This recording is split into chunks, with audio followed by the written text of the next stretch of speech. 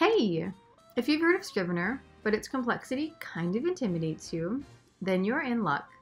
I'm going to be breaking down Scrivener into little digestible bites so you can maximize this software to write amazing stories. Hey friends, let's talk about Scrivener, specifically the file menu. And by talk, I mean I talk and you leave comments down below. Ask me questions or tell me about your favorite Scrivener features. So the file menu right up here, this is what we'll be going over today and just letting you know what all of these buttons mean. So up at the top, new project, when you want to open up a new project, you click on this and it'll open up this window that you kind of get whenever you fresh open up the whole program to begin with. So you can pick which type of project you want to work on and then you'll also choose where to save it. You can also just open up a recent project in here as well if you want to, an existing file. All right, so the open tab, that just, you click this and it brings up those file navigation menus and you can open up an existing project. From here, you can get into recent projects.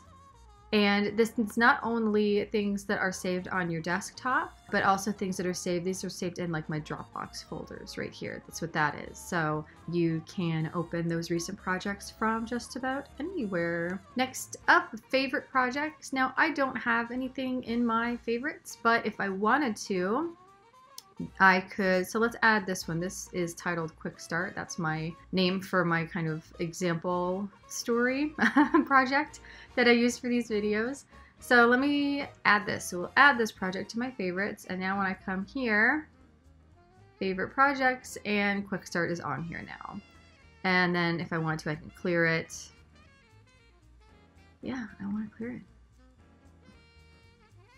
And then it will be gone from here. So Adding projects to your favorites is easy as just clicking right here. So if there's one particular project that you work on a ton or maybe two or three projects you work on a ton, adding those into your favorites means that you can just boop, boop, boop, open them up real fast. Now, show project in Finder. So I've opened up Quick Start, let's say I've had it open for a little while, and I have completely forgotten where on my computer I have it saved. That happens to me, embarrassingly, large amount. It's fine. So let me click on finding it in Finder. So this is in my backup folder within my, and I mean, I know where this is, so down here in, in my Dropbox. Find all projects in Spotlight, so click on that, and it opens up another Finder window where all of my Scrivener projects have been brought up. From here, I can close this particular project, but not the Scrivener program um, as a whole. If you hear squeaking in the background, my dog has found her squeaky toy. And the squeaker has been removed, but it's made out of rubber and so it still kind of like squeaks. So um, my apologies. so yeah, you can close this project but leave the Scrivener program itself open or if you have multiple projects open, those projects will stay open, but this one will close. Close window will close the currently active window. So like if you have a utility panel open or quick reference or something like that. But if the project window is the only focus, then the whole project will be closed. So this is essentially the same as this unless you have like one of those little quick reference extra windows up that I have talked about in other videos. Right here, if you don't want to do Command S, you can just come click Save and then also save as. So if you want to save this as a different name, you click here, save as, and you can change the the title. Go, go away. You can change the title up here and save it as something different. Import, you this is where you can import stuff from, and we can import files, which is just um, importing uh, files from your computer onto your document. You can only import text-based stuff, so you can't import um, anything that isn't text-based. There's I, there's a list that Scrivener has somewhere on all of like the supported formats, but it's like um, TXT and HTML and I can't, or I guess that's web pages, but I, I can't remember. But there's a whole list of, of different text formats. But I I would assume that the average person is probably only only dealing with supported things because Scrivener does support quite a lot of stuff. So if, if you have a question about it, you can check out their website or the um, there's like a instruction manual. But yeah, don't try to import images or non-text based stuff.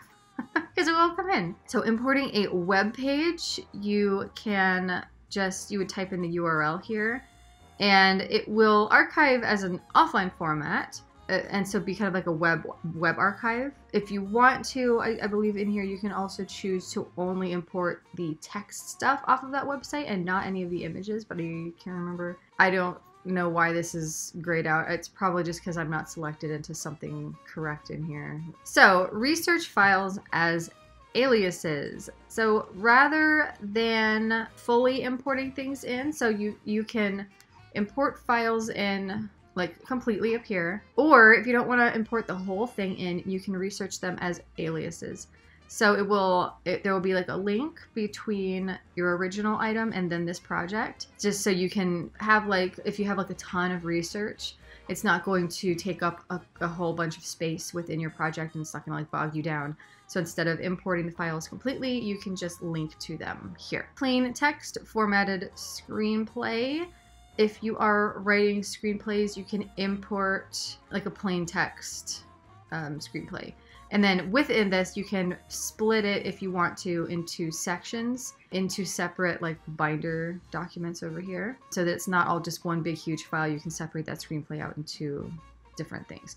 This is like um, if you're working with like a different specific screenwriting program. But again, plain text, like text-based files only. I, I don't write screenplays, so I don't know a ton about this, but I am sure that you could find more information on the Scrivener website if there are like file formats that aren't supported. But uh, it's a safe bet to say that if it is text based, you're probably okay. And importing another Scrivener project. So that is taking a different Scrivener project and importing it into this Scrivener project. So if I wanted to, for example, import one of my like my books into this for some reason, I would do that from here and it would kind of combine them. All of when you when you do that, all of the items in the binder are imported and the metadata will be imported as well. Let's say that you were working on your your book like a year ago and then you made a copy of it and you did all of your work since then in that copy so you have like the old version and the new version of your book then if you try to import one into the other using this, Scrivener will detect that, hey, this one's an older version of, of this new one. Do you want me to just merge it?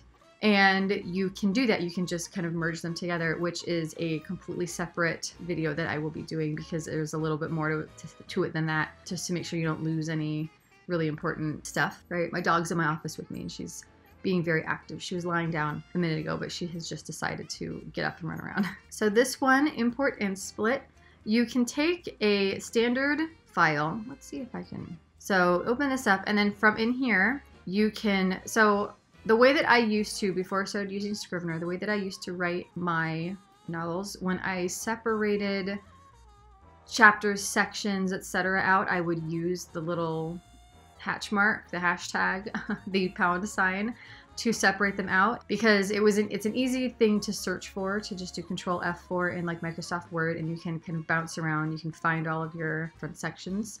And when you are using this feature in Scrivener if you have done that in a Word document you can just leave this in here and then you can import that Word document and it will separate your document into different sections based on this. But if you've used, let's say, for example, you've used a dollar sign, you can change it to a dollar sign. Or if you've used the ampersand, you can add that. So you can change it to whatever you have used so that it will separate stuff out. Or some people use ellipses and some people use asterisks. So whatever you have used, um, enter that in here and then import that document into Scrivener and it will separate everything out into separate sections based on where these marks are in that text. Okay, enough about importing. Export is just basically how to get stuff out of Scrivener and into other file formats. There's my doggy again. Hello, doggy. So if we're exporting into a file, we are we're exporting uh, whatever you have selected over here into me um, specific file folders. So let's just click on this real quick. Alrighty, so we uh, in here, in we go. This is mostly like because this is not compiling. This is if you want to share or you, you want to create like um, a backup that's outside of the Scrivener format, or if you want to share stuff with somebody who is not using Scrivener, but like not the entire manuscript, if that makes sense. If you want to export your manuscript as one big file, you're going to use the compile feature. If you want to export it in smaller chunks, you're going to use this feature. And this is, again, a thing that is a little bit more in depth that I would cover in a different video all by itself. But for this video, just knowing that it's here and knowing that compiling is not the only way to get stuff out. So like, I'll select onto this scene. There's supposed to be text in here. Okay, there we go. So then file, export. Um, if you notice right here, it says one file selected for export. And right here it says subscene because that is what I selected, subscene. If I want to select multiples, I'm gonna, I'm gonna hold down shift and then the down key, right, to select multiples. And then file, export, files. And now it says five selected for export and it is now untitled because I have multiple things selected and so I would have to name it myself. This is where I'm going to save it to and then if I want to include all of this stuff as well, I will click that. I am going to export it as a default rich text, but then if I want to change it to Microsoft Word, I can do that as well. Exporting as an OPML file. Uh, OPML stands for something, something markup language. Um, I don't remember. Something, it's markup, something markup language. I know that OPML is markup.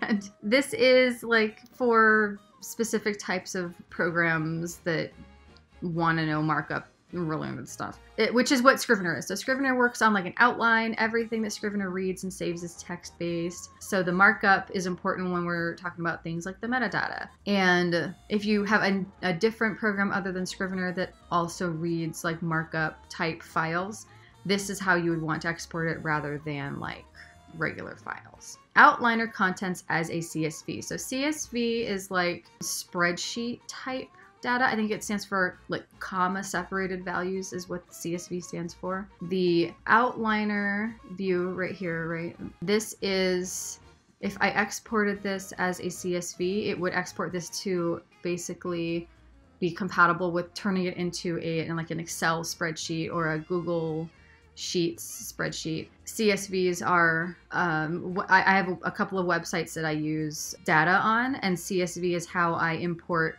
that data from an Excel spreadsheet. I save it as a CSV file, and then I upload that into my website so that it just transfers over and I don't have to type everything in by hand.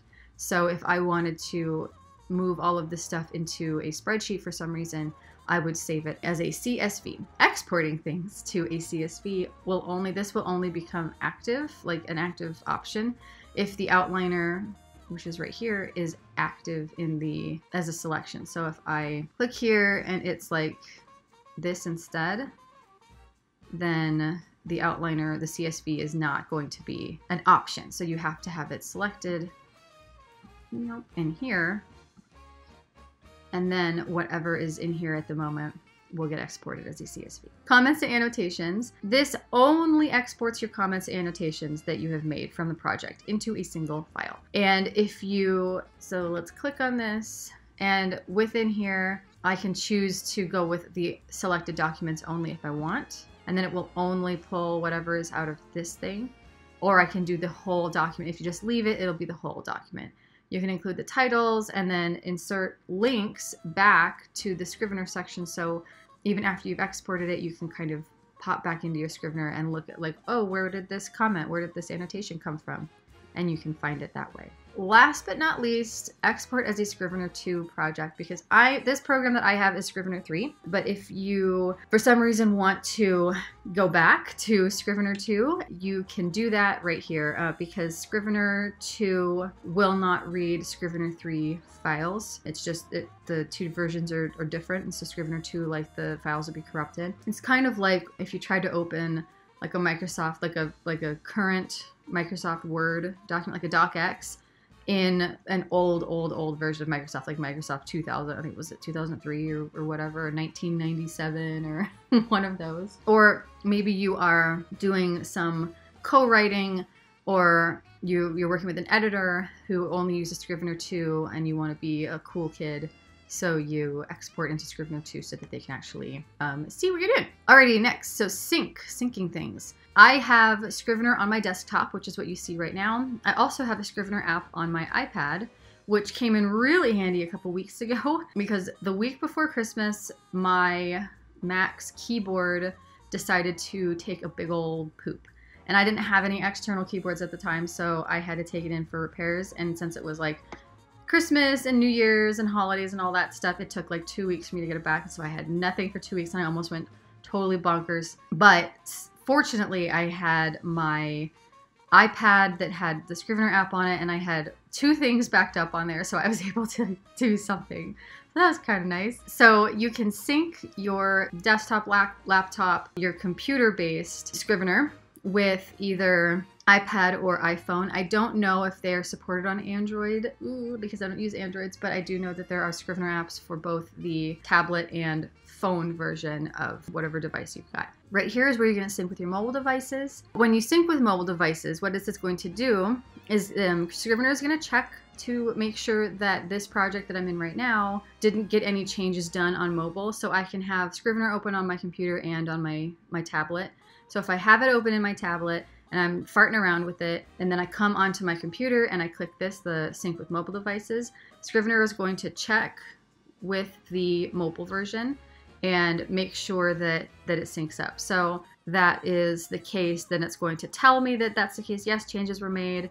What do you want to do? And um, there's a whole uh, procedure to that, but this is how you initiate it right here. So syncing with your mobile devices. Syncing with an external folder, if you have made like a, a, backup folder on your desktop, or you can do it on your desktop. You can also do it in Dropbox, whatever your iCloud you're using, um, Google Drive, so any of the cloud-based things as well, or, or, or internet-based things. And so this is actually like if you're working with a co co-author or an editor, and you have this project saved in like a Dropbox you both have access to, then you've come in here and you've made all of your changes and then you're going to sync up with that external folder, clickety clack, and then whatever changes you've made in here are going to be updated in that shared folder so that your co-writer or editor can see that and act on it. And this um, sync with external folder now just means that in, this is how you do that immediately. So this one will give you options like selections and stuff. Let's, let's see. This is how I choose the external folder it goes into. And I don't have this one set to sync with anything because if I lose this, it's not gonna break my heart. But my big projects, I do have I have external folders. They save in a Dropbox. And so here's kind of how we select everything. And after you have this set up, you can come into here and then this will be this will be an active link and you can click that and it'll just do it without you having to go through that whole selecting folders and doing stuff. That little window won't pop up. So backing up, backing up is so important. You guys please back up your work. There's nothing worse than, you know, I know I wrote this thing and I can't find it. Oh no, I didn't back it up. Ah, like that's terrible. So back up your work. And to do that, click back up to, so over here I've got a Dropbox that's hooked up to um, just a bunch of stuff because I'm a digital hoarder and I needed I needed space. In here, you can see I've got my Scrivener backups, Scrivener projects. So these are my two that I have saved in here because I would die if either of these got deleted. Not literally, but I would feel like it. I'd lay on my floor for a while and just scream into the carpet if I lost either of these. So I have them backed up in my Dropbox. I have them backed up on my desktop. I have them backed up in a few places because I would be really sad if these went away. I've worked on them for a very long time. This is where you'll set up your backups and you can back it up as a zip if it's a really big thing so that it's not taking up a ton of space or just a regular old Scrivener file. And if you want to, so templates are fun and cool. Like if you are opening up a new project, these are templates. So these are all of our fun templates. So I have already made a template. This is my template that I have made. And it's basically just the text that I like because Scrivener defaults to, I want to say Palatino size 13, and I don't like that because I have ADHD and it makes me very rigid with the things I will accept in my life. And so it's Times New Roman size 12 or GTFO basically. So I have my novel template is um, all the text, all the default text is changed to Times New Roman. It's all changed to the indentation that I like. The first paragraph does not get indented. The headers are all a certain location and style and that kind of thing, blah, blah, blah. And the way that I made that was that I set up how I wanted things in whatever document I was using, and then I just went to File, Save as Template.